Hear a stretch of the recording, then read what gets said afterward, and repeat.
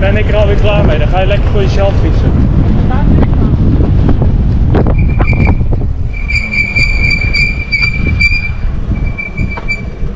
Wat zei je? Ja, als je direct alweer loopt te janken over een beetje wind en zo, dan ben ik er alweer klaar mee. Bovendien, ik moet gewoon rechts, dus ik kan niet gewoon langs. Ja, het heeft geen zin dat we hierop wachten. Want Ik ga hier ook niet op wachten. Op de fiets kan ik er wel naast.